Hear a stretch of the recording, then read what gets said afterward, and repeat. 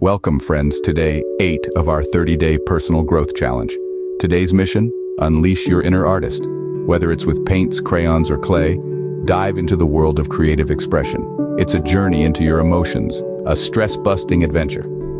So go ahead, create something beautiful today. Remember, it's not about the end product, it's about the process. The canvas is waiting, the colors are calling.